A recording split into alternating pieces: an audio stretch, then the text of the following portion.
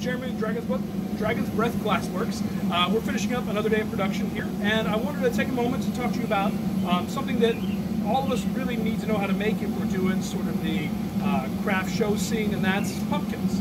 Um, I'm sure most of you have tried pumpkins and probably made a lot of them. Um, for me, what I wish I'd known 15 years ago when I first started is time is money. Uh, you need to make them as fast as possible, but still looking really nice. And I've gotten it down pretty well. I can make a good sized pumpkin in one heat after the uh, initial second gather. So uh, I'm going to show you a real quick, simple method for making pumpkins. First, I'm going to talk a little bit about our optic molds that we have here and the ones that I use. Um, so the one that a lot of you are probably familiar with are these lobe molds or flower molds. This one is a six point. I almost never use it. It's there, I use it occasionally, but very rarely. This is a 16 point optic mold. Um, I use these for stems. I do a lot of optic patterns on pieces, but I use these mostly for stems for pumpkins. Uh, and this is my real workhorse. This is the uh, 12 point ridge mold. Uh, these are all Steinert molds. Um, but I want to show you the ones that I work with. These two are open bottom. Uh, the lobe mold is a closed bottom mold. So with that out of the way, I'm going to show you how I make my pumpkin.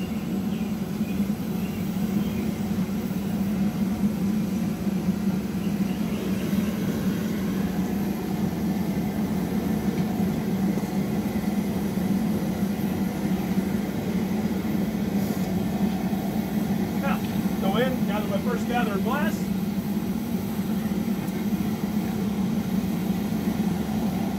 And I immediately go into the color. I don't really care if I've wasted a little color on the moil. Uh, the amount of pennies that I lose for losing some color on the moil is minimal compared to the extra time it would take to prep and shape things.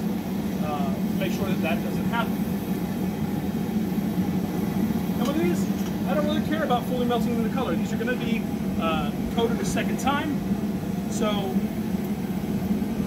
a second gather. So if they're a little lumpy here, it doesn't really matter. In fact, it can actually add to the design. So, give it a quick puff. Honestly, don't care what the, the shape of the starter bubble is like. While it's very important to learn how to make starter bubbles properly, um, that's in air quotes for you, because properly really depends on what you're making. Um, on pumpkins, for me, it doesn't really matter what the shape is. I will do a variety of things to cool this down quicker. Uh, I'm often impatient when letting the starter bubble cool down before my second gather. Um, I'll often hit it with compressed air or hold it in front of the fan. I've even known, been known to dunk it in a bucket of water to speed the cooling process. I've been working all day, so my furnace is cooling off. That glass level is getting low, so it's not all that hot to start with. So I really just have to wait a moment. Let's go back into the furnace. gather up my second gather of glass. I don't want to make a giant pumpkin, so I'm going to let some of that drip back into the furnace. A lot of people block. I really prefer paper. Um, I rarely use my blocks. I like a really wet paper. Um, again, it's personal preference. There's our basic shape. I just want a sort of a tapered down bullet shape. One real fast repeat. And for this, since I use my furnace as a repeating chamber as well, um, I'm going to hold this right in front of that burner head, letting it get really hot, and then I'm going to head over to my ridge mold and put in the texture. And this is where we have to be fast. So, add that in. I'm pulling up while I'm blowing. That's stretching the neck, stretching the form, but really keeping nice tight ridges. I work alone most of the time, so I'm adding a hose so I can inflate while I shape the tools. Squeezing down the jack line first a little bit, then the bottom, while inflating. This little nub that I'm squeezing down here is where there's no texture from that coming together. Squeezing down further while inflating.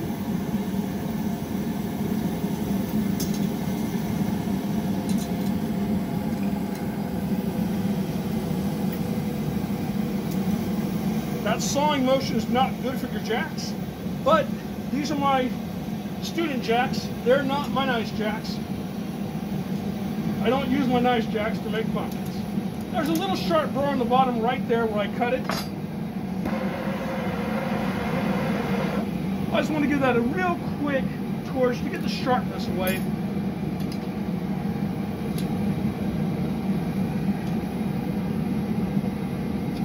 Inflating while pushing in.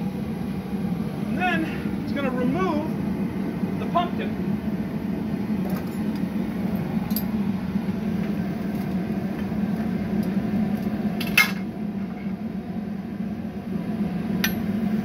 from the bottom. Now, the size of my uh, opening at the top varies wildly from day to day, really depending on how hot the glass was on that second gather. This is a really large opening, way larger than I typically like. So I'm going to get extra glass to make sure it's properly covered. Now I usually make my pumpkin stems with powder for my color. Uh, I work outdoors and I've always got a fan blowing away from me, uh, behind me when I'm working with powder. That way if I kick any of it up, it blows away and no problem. Now, back into the mold. This time I'm going to use that sharper optic.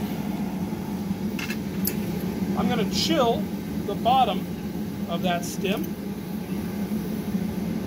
This is still the gather heat on the pumpkin stem sort of stripped itself off the pipe a little bit. There we go. And I like really wild, curly stems.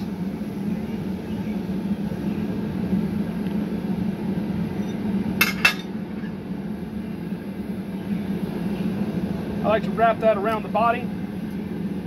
Uh, I find for me it's important to keep those stems real close to the body. Uh, they travel better that way less likely to break in shipping as well. Just torching off that cut mark.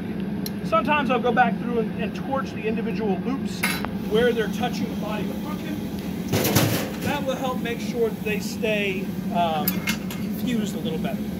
Uh, that stem is still got enough heat in it that I can just grab it with the pipe grabber on my diamond shears to put it away. So into the box it goes. So wait till tomorrow morning. Um, my personal favorite mold for making pumpkins is this ridge mold. Uh, if you've got a favorite, let me know. If you've got a different way you make your pumpkins or you like a different style of stem, tell us in the comments. Thanks guys, I hope you enjoyed that. I hope you are able to use some of those techniques. Have a wonderful day.